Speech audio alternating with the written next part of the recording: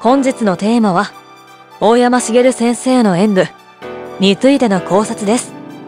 大山茂先生と中村忠先生による神経白羽鳥は、知る人ぞ知る演武です。さて、この神経白羽鳥は、現実的な用法ではなく、あくまで演武として認識されています。果たして本当にそうなのでしょうか川島は、演武には、演武者の価値観が反映される、と考えています。大山茂先生と中村忠先生が演じた神経白羽鳥をはじめとするその他の演武には、両先生の実践感が反映されていると感じました。川島が感じた演武の中にある実践感を順を追って解説します。連れたい剣。まず大前提として、素手で剣を持った敵に勝つことはほとんど不可能です。剣道3倍だ。という言葉があるように、武器を持っている剣道に対して、空手や柔道などの素手の武道が勝つには、最低でも3倍以上の技量が必要だと言われています。つまり、剣の熟練者に捨てで勝つには不可能だということです。その上で、剣を持った敵に対して捨てで戦わざるを得ない局面を想定し、少しでも生存の可能性がある動きを考察します。剣の熟練者の攻撃に対して生存できる可能性が高い動きは3つ考えられます。1つ目は、地面に転がることによる緊急回避。2つ目は、腕を犠牲にして技をかける。3つ目は、命をおとりにして技をかける。大山茂先生の演武には、この3つの要素が感じられます。演武その1。剣の振り下ろしに対して、サイドポジションに回避しながら、裏剣回し打ちの要領で、胴に長打を放っています。そこから下段後ろ下痢を放ち、すかさず、床に転がり離脱しました。小油にした理由は、演武として、どう、お装備していたからでしょう。何も装備していなければ、拳による裏剣回し打ちを当てていたと思われます。さて、それはさまつな話で本題です。今の演武を剣を振る側の視点で見てみましょう。剣を振ろうとした瞬間、相手が横に回避しました。それだけなら、すぐに対処できます。しかし、相手は横に回避すると同時に腕を伸ばしています。この際、腕を切るか、腕を無視して横に回避した本体を切るか、の二択が生まれます。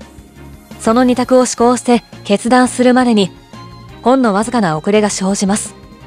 一牛同士の戦いでは、その遅れは、戦局を大きく左右します。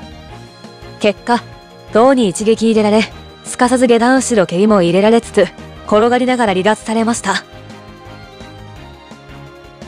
剣の熟練者に対して、ただ捨て身で仕掛けても切られるだけです。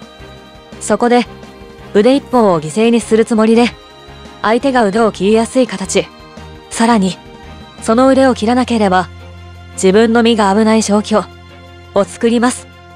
その二つの条件を満たす技が、裏剣回し打ち、です。この演武には、腕を犠牲にして技をかける、地面に転がることによる緊急回避の2つの要素が含まれていることがわかると思います。演武その2、剣の振り下ろしに対して受けようとせず、自ら倒れます。倒れると同時に、カニバサミで崩し、後頭部に霧を入れています。カニバサミは、今の柔道では禁止技で、あの山下康弘先生の足を骨折させた技として知っている方もいるでしょう。また、ブランド状態での後頭部への蹴りは、総合格闘技でも禁止技です。どちらの技も実践的な技ですが、それもまず最初に、無が前によって相手が切りやすい状態を作る、自ら倒れる、という動きがあればこそ生きる技です。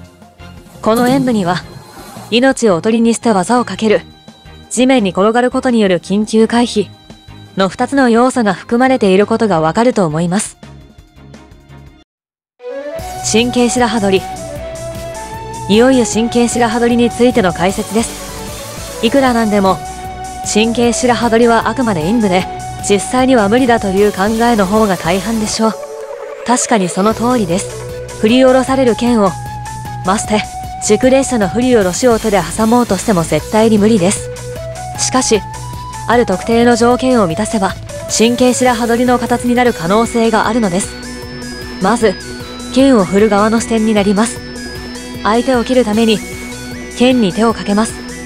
その瞬間、相手は、両手を横に広げました。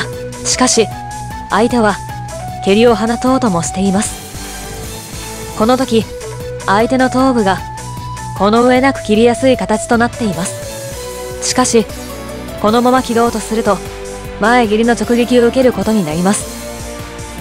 そのため、熟練者ほど、本能的に蹴りに備え、腹筋を固め、衝撃に備えます。何の備えもしなければ、前蹴りによって大きなダメージを受けます。つまり、相手の命を確実に奪える箇所である頭部が切りやすい形になりますが、ほぼ同時に相手の前蹴りが発動し、回避が困難な状況を作り出されているのです。このような状況に陥ると、人間は瞬間的に動きが止まるようにできています。脳が危険を感じて、とっさに体にブレーキをかけるようなイメージです。その結果、剣が瞬間的に止まるような形となるため、その剣を手で挟めば、神経白羽取りの形になります。そもそも、星座から剣に対応できる技術は、前切りのみです。上段受けでは切られてしまうでしょう。腕を押さえても振りほどかれて切られてしまうでしょう。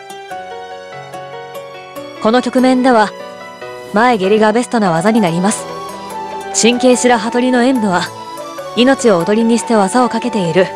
そして、前蹴りがベストな選択であることがご理解いただけたと思います。まとめ、演武である以上、当然、見栄え、や、わかりやすさ、も必要です。しかし、大山茂先生と中村忠先生が行った演武を考察すると、とても理にかなった戦術を行っていると感じました。川島は、両先生の演武は、実践感が反映された、後世が学ぶべき素晴らしい演武だと感じたため、この動画を作成しました。大山茂先生と中村忠先生の演舞を今までとは異なる新たな視点で見直すきっかけになれば嬉しく思います川島優の審議体チャンネルは心技術身体について川島優独自の視点で解説するチャンネルです。この動画が参考になりましたらチャンネル登録高評価をお願いします。